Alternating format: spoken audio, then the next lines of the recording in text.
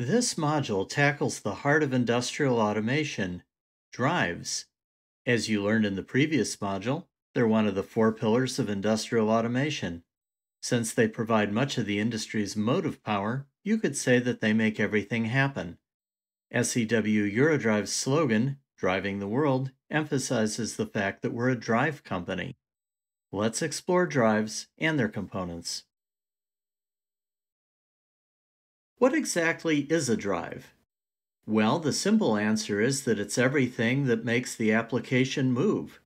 Without motion, we wouldn't have industry, so as you can imagine, drives are pretty important.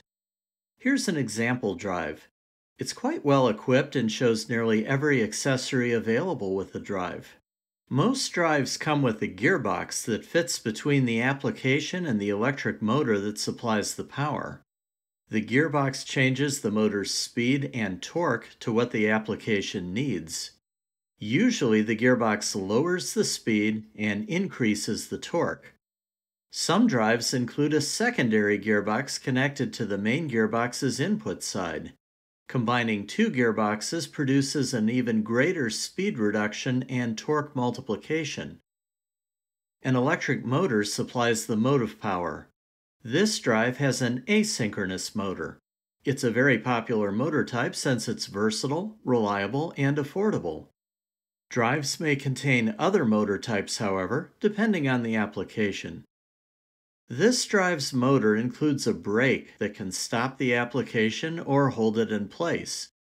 Not all motors come with brakes, although many do. The motor also includes an accessory called an encoder that monitors and reports its speed. Finally, it has a powered fan to keep it cool. This drive comes with a very important component called a variable frequency drive. You'll learn a lot about them in this module. For now, just think of it as an electronic motor controller. This drive happens to be equipped with almost every possible accessory, but many are optional and therefore aren't present on every drive you'll encounter. And that's drives in a nutshell. We're now ready to dive deeper into electric motors and variable frequency drives, which are the most complex parts of a drive. What is a variable frequency drive? I'll start with the short answer. A variable frequency drive is an electronic motor controller that manages the motor's speed, torque, or position. Variable frequency drives come in all shapes and sizes. Some live in an electronics cabinet protected from the hostile environment outside. Others sit on top of the motor they control and can handle direct exposure to the operating environment without trouble. Some can control more than one motor. Regardless of the type, brand, or application, all variable frequency drives work in much the same way. Before I go any further, I should probably clear something up. The terms variable frequency drive, VFD, and inverter all mean the same thing. To save time, I'll use VFD from now on. To understand how VFDs work, you need to understand motors. So let's talk about how motors work. We'll start with the most popular industrial motor type, the AC asynchronous motor, also known as the AC induction motor. These motors are very simple. In fact, they have just two important components, the stator and the rotor. The rotor spins inside the stator and turns the motor shaft. The rotor is a little more complex than it looks from the outside. It's actually a cage of metal bars. Electrically, it's a coil connected together at both ends. Some people call this rotor style a squirrel cage since it resembles the toy that keeps your pet rodent happy. That's also the reason this motor type sometimes goes by the name squirrel cage motor. Electromagnetism is what makes motors spin. The stator contains three electromagnets made from three coils of wire wound around a steel core. Magnetic poles always come in pairs, so those three coils give us six magnetic poles, which we'll call A1 and A2, B1 and B2, and C1 and C2. Alternating current energizes those coils. It comes from a three phase power supply, which is nothing more than three power supplies working together. Each puts out an electric current that rises and falls in a sine wave pattern. Notice that each sine wave starts at a different place in its cycle. This is intentional because the power supply can deliver more energy when it works this way. Motors with six magnetic poles are actually called two-pole motors rather than six-pole. That's because there are two poles per power supply phase. When those three power supplies energize the motor's three coils, three separate magnetic fields form inside the stator. They mix and match, add and subtract, forming a single combined field that points in a specific direction. If you put a compass inside the stator, its needle will align with that magnetic field and show where it's pointing. Now here comes the magic. As the power supplies cycle through their sine waves, the combined magnetic field constantly changes where it points, which makes the compass needle spin. We call this a rotating magnetic field. It's what makes the motor spin. But wait a minute. The compass has a magnetic needle, but the rotor doesn't contain any magnets. What makes it spin? That's another piece of magic. The stator's magnetic field passes through the rotor's squirrel cage and induces an electric current in it. The electric current flowing through the rotor cage creates a second magnetic field which surrounds the rotor, making it a magnet. That second magnetic field's polarity is opposite to the stator's magnetic field. As I'm sure you remember from science class, opposite poles attract so the rotor and stator fields attract each other. As the stator field rotates, it drags the magnetized rotor around with it, producing mechanical motion. That's pretty clever. So how fast does it turn? Well, that depends on the power supply's frequency how many times per second those sine waves go through their cycles. In some countries, like the United States, power supplies have a frequency of 60 hertz, 60 cycles per second. This makes the stator's magnetic field rotate 60 times per second or 3,600 times per minute. In many other countries, especially those in Europe, Power supplies have a lower frequency of 50 Hz, so the magnetic field goes around at a slower 3000 times per minute. The stator's magnetic field rotation speed is called the synchronous speed because it's synchronized with the power supply's frequency. A two-pole motor connected to 60 Hz power will have a synchronous speed of 3600 RPM. So, with 60 Hz power, the shaft will turn at 3600 RPM, right? Well, almost, but not quite. It actually turns about 5% slower. This behavior is called slip, and it's caused by the physics underlying this particular motor technology. Slip is also the reason we call these motors asynchronous motors, because they don't rotate in synchronization with the stator's rotating magnetic field. There's also another factor behind how fast the motor turns the number of poles in the stator. A two pole stator has a synchronous speed of 3600 RPM. If you build the stator with more poles, however, the magnetic field takes longer to go around, which makes the motor turn more slowly. Here's a four pole stator. As you can see, it has four poles per phase, giving a total of 12 its magnetic field takes twice as long to go around, giving it a synchronous speed of 1800 RPM. Four pole motors are the most popular type of asynchronous motor, so you'll see them often. Time for a little math. There's a nifty little equation that lets us calculate the motor's speed.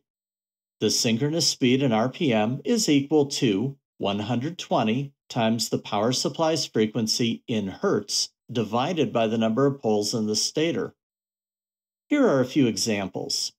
A two-pole motor with a 60 Hz power supply has a synchronous speed of 3600 RPM. A four-pole motor has a synchronous speed of 1800 RPM. Six poles, 1200 RPM.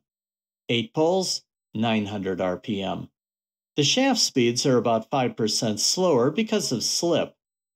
If we run the same motors on a 50 Hz power supply, they'll follow the same formula, but as you can see, they'll turn a bit more slowly. This is probably a good time to mention that there's another kind of motor. It's the AC permanent magnet synchronous motor or servo motor. It's similar to the asynchronous motor but has a different rotor design. Instead of a squirrel cage, the rotor is equipped with permanent magnets. With this design, the motor shaft turns at the synchronous speed with no slip. Servo motors have a number of advantages over asynchronous motors, so they're popular in some applications. And that's enough about motors. We've laid the important groundwork, so without further ado, let's get back to VFDs.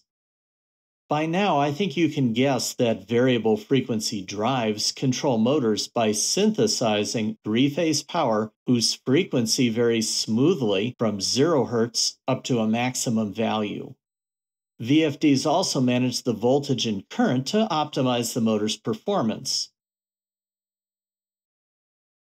So, what's inside the VFD that makes all this magic possible? Quite a bit. Let's take a look.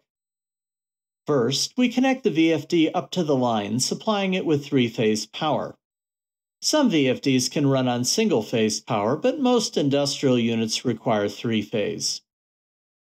Next, we take the three-phase AC and run it through a device called a rectifier, which converts it from alternating current to direct current. The DC is very choppy, however, so the next stop is a bank of filter capacitors that smooth it out. Instead of a sine wave, it's now a slightly rippling flat line. Many VFDs have an external connector called the DC link or DC bus, where this voltage is available. Always be careful around this connector since the DC link's voltage can be 650 volts or more. This high voltage DC is what actually powers the motor. It goes from the filter section into three IGBTs, insulated gate bipolar transistors, which drive the motor. A microcontroller, a tiny computer, controls the IGBTs and tells them what to do. And that's it. While VFDs do some very complex things, they're actually rather simple inside. Now let's take a closer look at how the VFD controls the motor. The VFD synthesizes the output power waveform using a technique called pulse width modulation, or PWM. The IGBTs inside the VFD are electronically controlled switches. All they can do is switch the high voltage DC on and off. But they do this very quickly, between 2,000 and 16,000 times per second. Instead of sending a sine wave to the motor, the VFD sends it rapid on-off pulses of high voltage DC. By varying the ratio of on to off time, the pulse width, the VFD creates the effect of a variable voltage. Let's see this in action. For simplicity, we'll look at just one IGBT, but never forget that the VFD is actually outputting three synthesized waveforms, one from each IGBT. Notice that the on to off ratio is changing over time. If the on time is short and the off time is long, the motor senses the pulse as a low voltage. If the on and off times are equal, the motor senses the pulse as a medium voltage. And if the on time is long and the off time is short, it feels like a high voltage to the motor. The IGBTs can also reverse the polarity to create negative pulses. By combining pulse widths for low, medium, and high voltages in both positive and negative directions, the VFD creates what looks like a sine wave to the motor. Using this basic technique, the VFD can synthesize three-phase sine waves of any required voltage and frequency. And that's how the VFD controls the motor. Pretty simple. Software algorithms in the VFD control this process, managing the motor's voltage, current, speed, and torque. Inexpensive VFDs may have just one simple algorithm, but some, like this MoviDrive technology, have multiple PWM algorithms, so they can control many different motor types. Advanced motor control modes usually require a motor's speed sensor. Some VFDs can use the feedback from this sensor to perform positioning operations. For now, we'll take a quick look at motor control modes and how they differ. We use the MoviDrive technology as an example. VF mode, also called volts per hertz mode, is a simple speed control mode that works with almost any asynchronous motor. It doesn't require any kind of motor speed sensor, so it's great for budget-friendly applications. If you need better control and you're using an SEW Eurodrive motor, VFC mode, which stands for Voltage Flux Control, is a better choice. It uses a motor speed sensor if you have one, but doesn't require it if you don't. It gives much more precise control, especially at lower speeds. ELSM mode, which stands for Encoderless Synchronous Machine, can run SEW Eurodrive permanent magnet synchronous motors that don't have a motor speed sensor. It's the equivalent of VF mode for servo motors. And for the very best control, choose CFC mode, which stands for Current Flux Control. It works with asynchronous and permanent magnet synchronous motors. It offers superb control, but does require a motor speed sensor. And that's enough for this module. I think you've gotten a good feel for drives and their key components. In the next module, we'll look at motor feedback devices. These are crucial for more demanding industrial automation tasks since they enable the VFD to control the motor more effectively. See you then.